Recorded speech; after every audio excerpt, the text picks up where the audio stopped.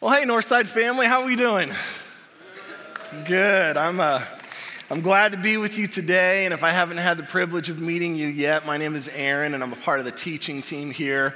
And I consider it just a great privilege to have the opportunity to share God's word with you today. And I want to say at the outset of my message today that this is not a New Year's Eve message, this is a Christmas message. In fact, it's part three of our Is, Was, Is to Come Christmas series we began back on December 16th. And so, because of that, I just want to offer a public service announcement Christmas isn't over.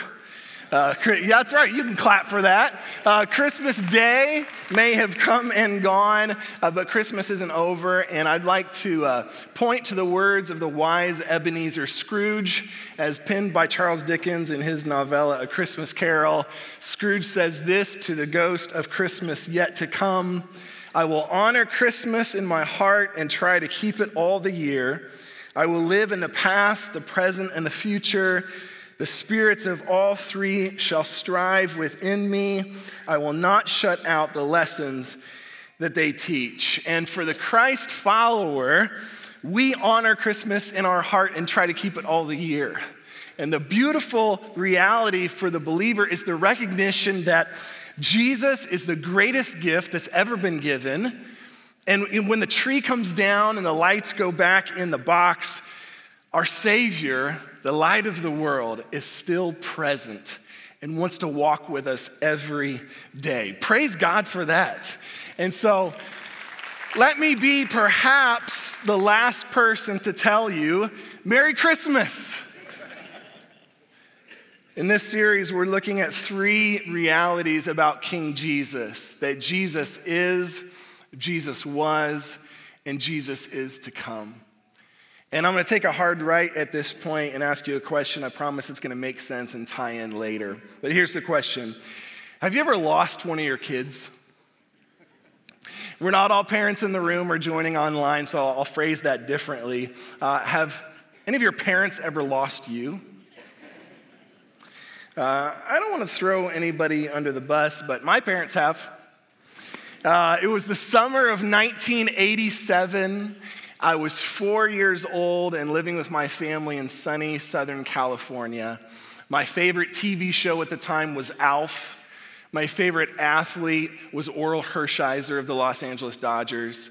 And I was still taking daily naps. I mean, you talk about eras, that was my era. Take me back especially to the daily naps. But on this particular day, my family had joined with some friends to make a trip to Universal Studios theme park in Hollywood, California. And I'm sure we had a great day together. I was four, so I don't remember all of it, but I do remember a pretty significant part of that day as we were making our way out of the park, one of the final things that we uh, saw, an attraction, really more, more, of a photo opportunity of sorts, uh, was this medieval stocks and pillory. That's this device where you put your hands and your head in and it closes down on you. And I don't know what movie that was affiliated with, but there were people there doing that, and family members were taking pictures and having a good time. And I was just taking it all in. And at some point, I turned around and my parents were gone. And the group that I was walking with was still walking when I had stopped. And so I don't know what happened next. I don't know if I approached someone or someone approached me, but eventually I got connected with a security guard who took me to a small security building. I remember in the room that they had me, there was a TV with some cartoons playing. They gave me some ice cream, which was great, I'm sure. And, uh, and I don't remember all of the details, but I, I can pretty vividly remember just simply thinking, I wonder if my parents are going to come back for me. And if so, how long am I going to be here? How long is this going to take? And I just share that story with you because I think that there is a spiritual parallel there for us that perhaps you have found yourself, or maybe you even find yourself right now, observing your own personal experience and the challenges that, that you're undoubtedly facing on some level. Or maybe you look around culturally or even globally and you see the chaos and confusion around the world, and perhaps you found yourself wondering where God is in all of it. And if He's gonna show up and actually do something about it in our own lives and in the world around us. And if that's you, like it is often me, then this series is for you And let me just tell you that He is, He was, and He is to come. And I want to begin our time together with a text that we have referenced in this series from the book of Revelation, chapter 1, verses 4 through 8. I'm going to read this for us, and then I'd like to pray and ask God just to speak through His word in whatever way He wants to. Here's what we read in Revelation, chapter 1, beginning in verse 4. This letter is from John to the seven churches in the province of Asia. Grace and peace to you from the one who is, who always was, and who is still to come from the sevenfold Spirit before his throne, and from Jesus Christ. He is the faithful witness to these things, the first to rise from the dead, and the ruler of all the kings of the world. All glory to him who loves us and has freed us from our sins by shedding his blood for us. He has made us a kingdom of priests for God his Father. All glory and power to him forever and ever. Amen. Look, he comes with the clouds of heaven, and everyone will see him, even those who pierced him. And all the nations of the world will mourn for him. Yes, amen. I am the Alpha and the Omega the beginning and the end, says the Lord God. I am the one who is, who always was, and who is still to come, the Almighty One.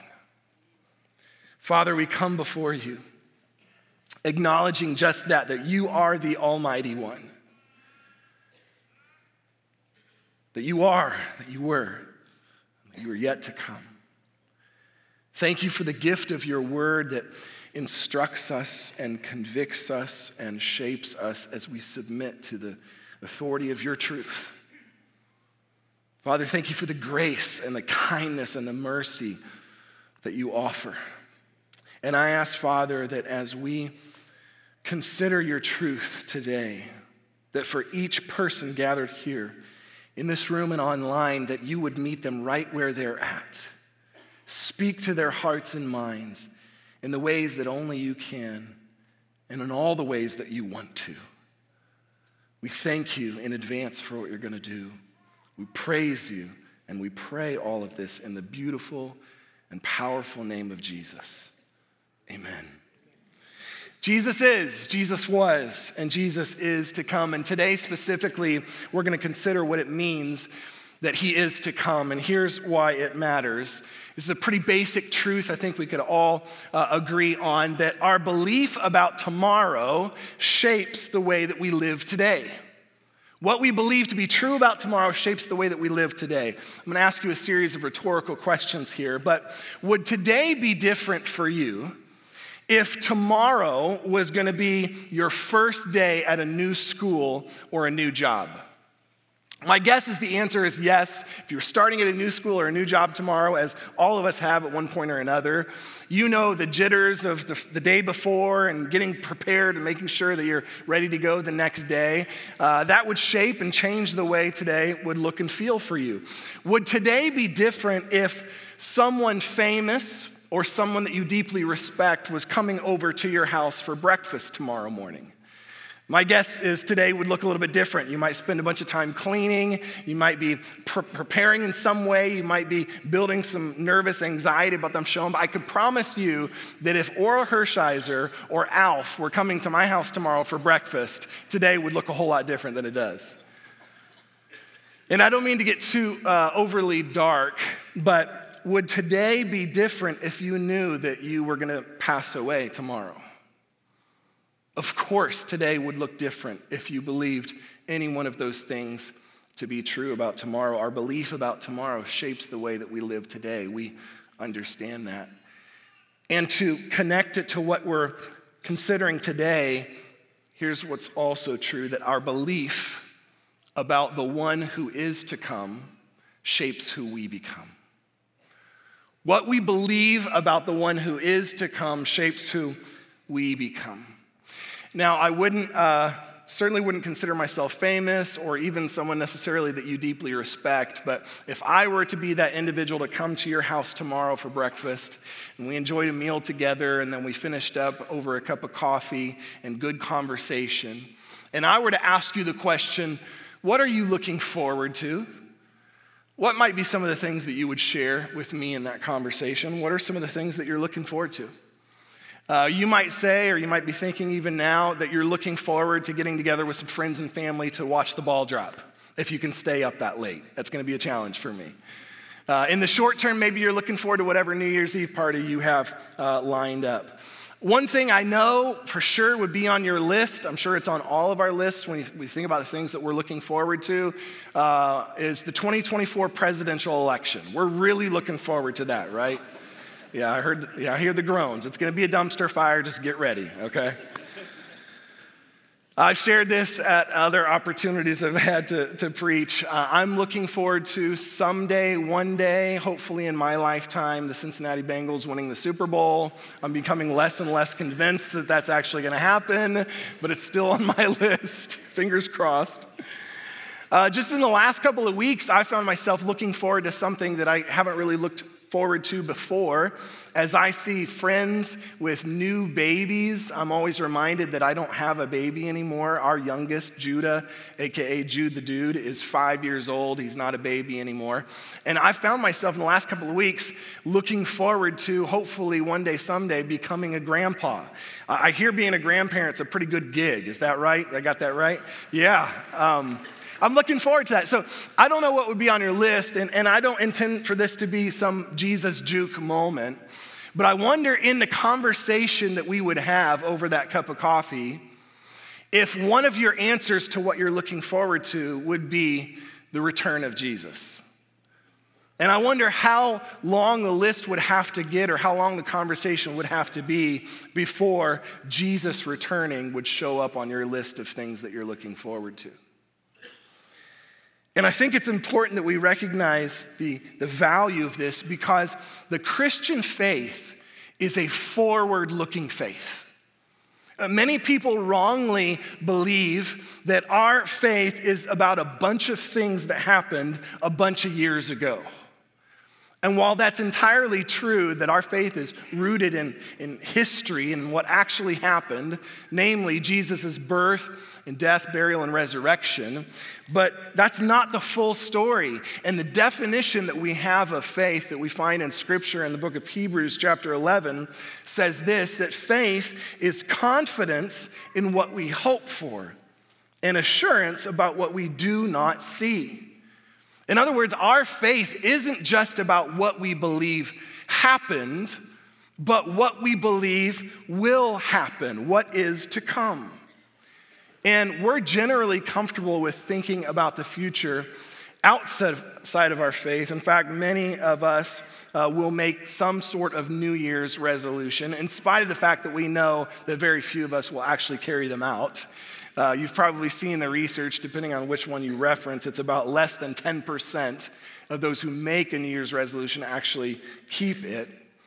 And yet, what I have found in nearly two decades of ministry and in observing my own life and tendencies is that when we think about the future, we often overestimate what we believe we can and will accomplish in the future and we often underestimate what we believe God can and will accomplish and do for us.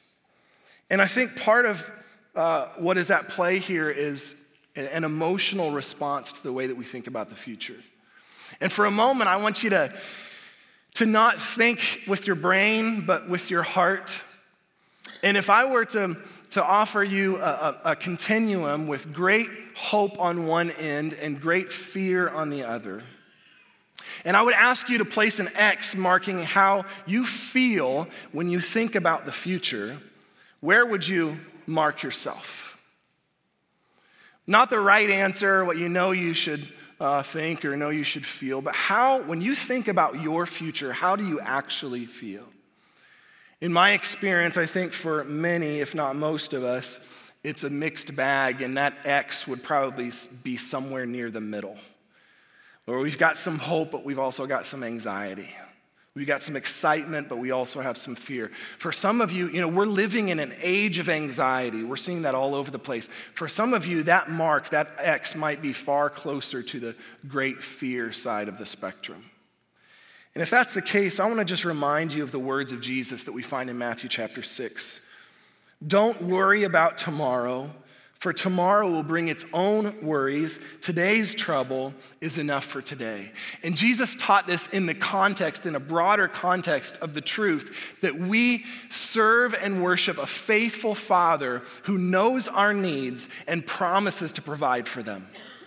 And so when we think about the future, we really don't need to fear. We should never worry, but we must wonder.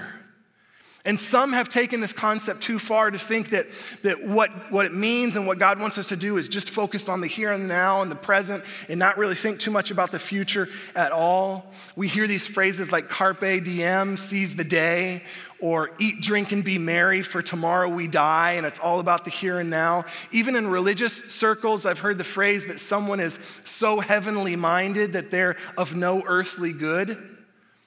And yet, I don't think our problem is that we think too much of the future. I think it's that we think too little of it. That we've lost our wonder for what God wants for us and for what He will do, what He's promised is coming.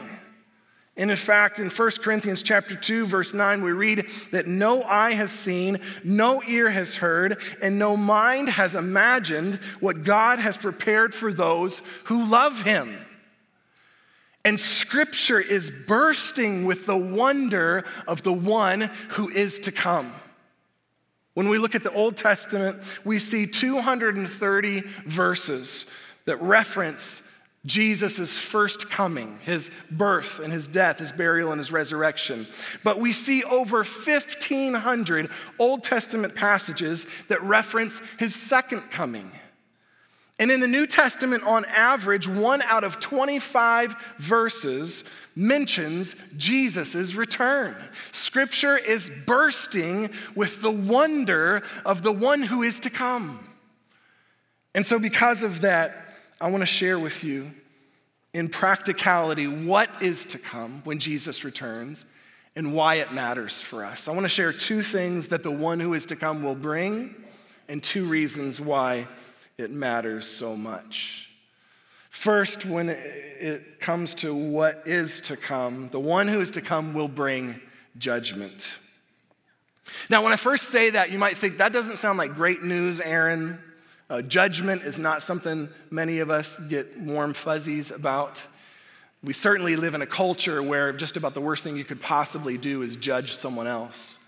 And yet, this is really good news, and I'll tell you why in a moment. But here's what we read in John chapter 5, Jesus' words about this. I tell you the truth, the Son can do nothing by himself. He does only what he sees the Father doing.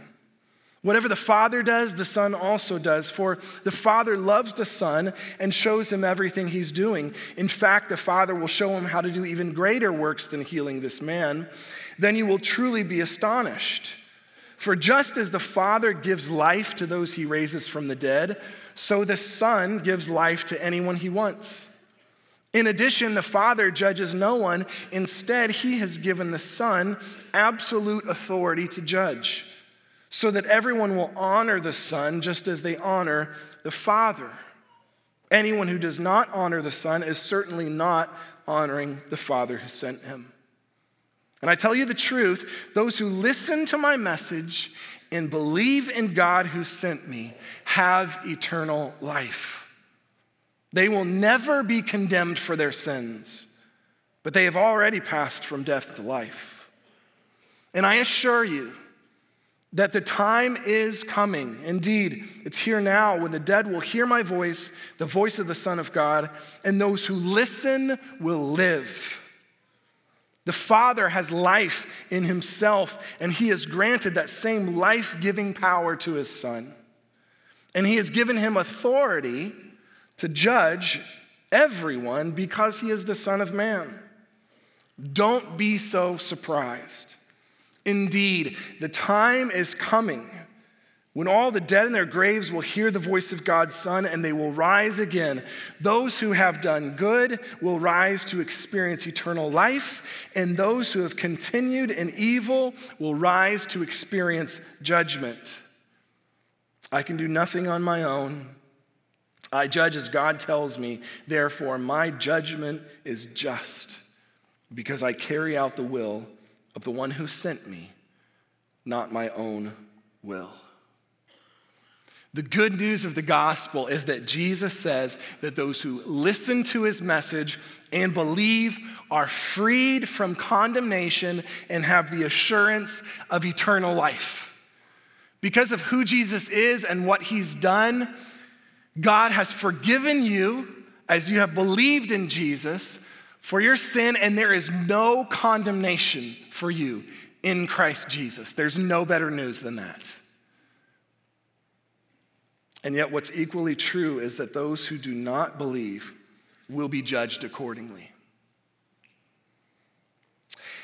And this is good news because it means that something is going to be done about the suffering and injustice that we see and experience around us. I don't know, maybe you're like me in the sense that you found yourself at times looking around Maybe even again in your own experience, or maybe more broadly in our culture or in what's happening around the world, and you see on full display the evil and the injustice that happens in our world. Some of it makes me literally sick to my stomach as I read and I watch reports of the evil being done in our world.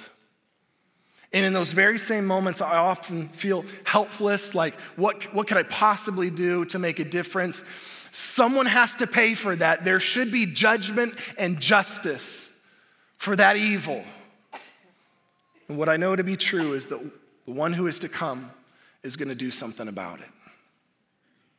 His judgment, his justice is a gift to us because something will be done about the evil and suffering in our world. Secondly, the one who is to come will bring salvation.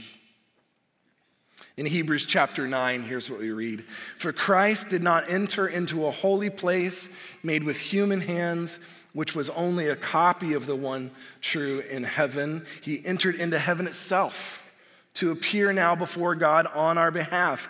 And he did not enter heaven to offer himself again and again, like the high priest here on earth who enters the most holy place year after year with the blood of an animal.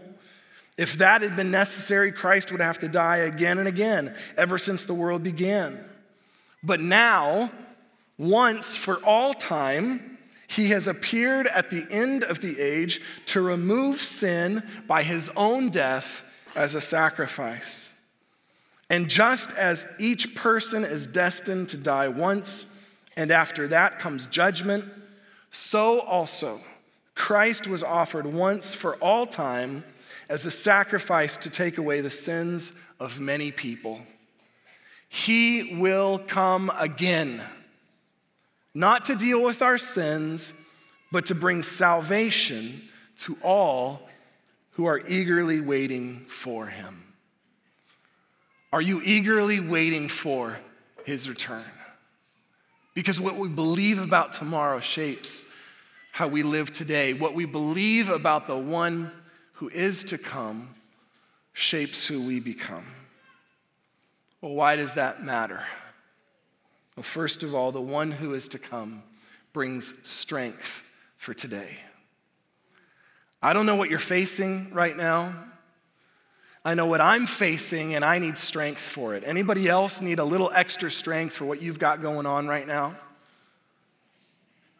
It was Jesus' belief about what was to come that gave him the strength to be faithful in the present. And here's what we read in Hebrews chapter 12.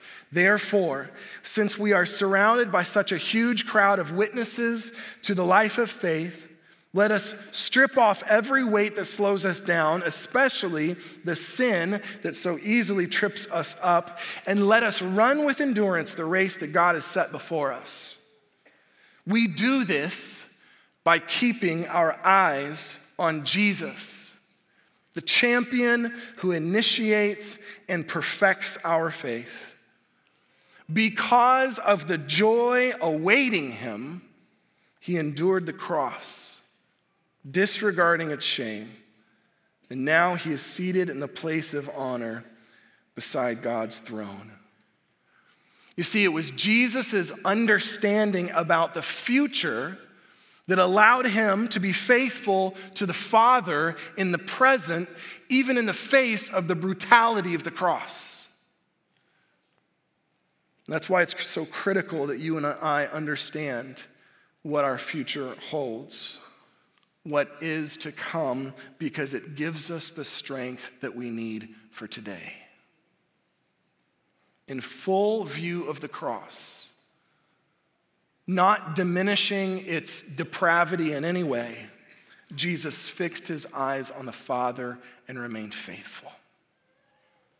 And in full view of our troubles, and they are many and they are significant, we fix our eyes on Jesus, who is to come for the strength we need to be faithful. And secondly, the one who is to come brings hope for tomorrow. Titus chapter 2, verses 11 through 14 says, The grace of God has been revealed, bringing salvation to all people. And we are instructed to turn from godless living and sinful pleasures. We should live in this evil world with wisdom, righteousness, and devotion to God, while we look forward with hope to that wonderful day when the glory of our great God and Savior, Jesus Christ, will be revealed.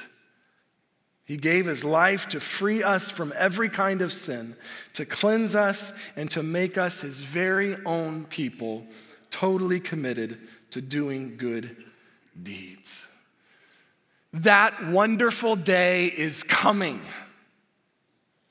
Jesus is the one who is to come, and his glory will be on full display.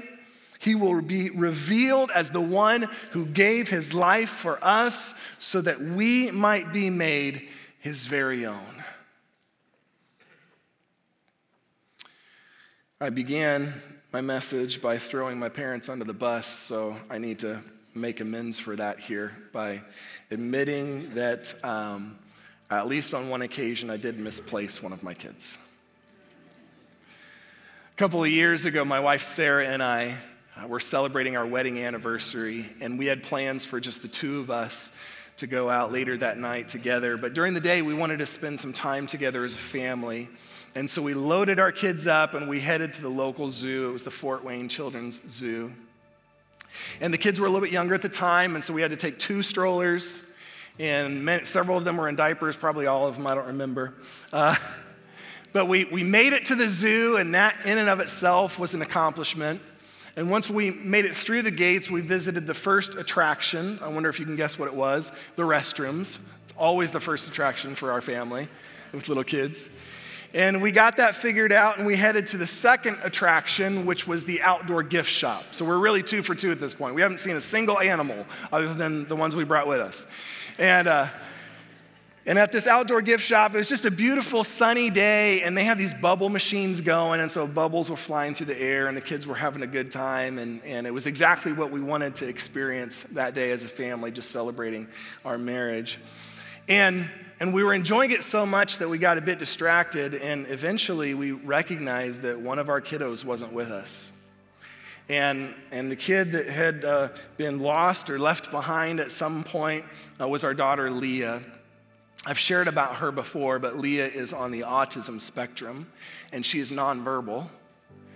And so you can imagine in this moment just the panic that washed across us as we realized that our daughter was lost and she wouldn't be able to tell anybody who she was or who we were. And we went uh, to uh, fear and panic mode real quickly.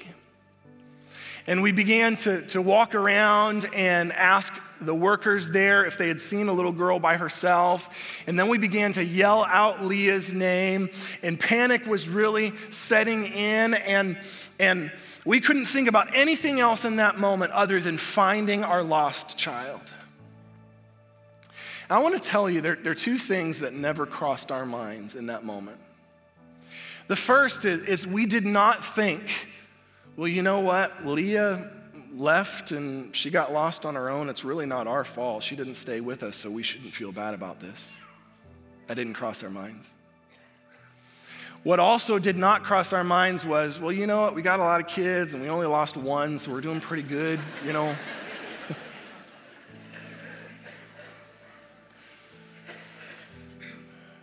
no, we we would not stop looking until we found Leah. And when we did, our hearts were filled with such joy and relief that I couldn't possibly articulate those feelings to you today. But I share that story with you to say, we have a heavenly Father who loves us so greatly that he's done everything within his power to make a way for us to be found and restored to a right relationship with him. And I don't know what life has done to you. I don't know how you have found yourself lost at times, maybe even lost in some way right now, but you have to know that you have a heavenly Father who has not stopped pursuing you since the very day he made you. You are so deeply loved. He is he was. He is to come for you. I want to finish by encouraging with the words of 2 Peter chapter 3 verses 2 through 15. I want you to remember what the holy prophets said long ago and what our Lord and Savior commanded through your apostles. Most importantly, I want to remind you that in the last days, scoffers will come, mocking the truth and following their own desires. And they will say, What happened to the promise that Jesus is coming again? From before the times of our ancestors, everything has remained the same since the world was first created. They deliberately forget that God made the heavens long ago by the word of his command, and he brought the earth out from the water and surrounded it with water. And then he used the water to destroy the ancient world with a mighty flood. And by the same word, the present heavens and earth have been stored up for fire. They're being kept for the day of judgment when ungodly people will be destroyed. But you must not forget this one thing, dear friends a day is like a thousand years to the Lord. A thousand years is like a day. The Lord isn't really being slow about his promise, as some people think. No, he's being patient for your sake. He does not want anyone to be destroyed, but he wants everyone to repent. But the day of the Lord will come as unexpectedly as a thief. And the heavens will pass away with a terrible noise, and the very elements themselves will disappear in fire, and the earth and everything on it will be found to deserve judgment.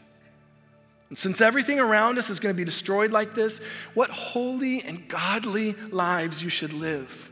Looking forward to the day of God and hurrying it along. On that day, he will set the heavens on fire and the elements will melt away in the flames. But we are looking forward to the new heavens and new earth he has promised, a world filled with God's righteousness. And so, dear friends, while you are waiting for these things to happen, make every effort to be found living peaceful lives that are pure and blameless in his sight. And remember, our Lord's patience gives people time to be saved. Our belief about what's to come, our belief about the one who is to come shapes who we become. Will you trust him?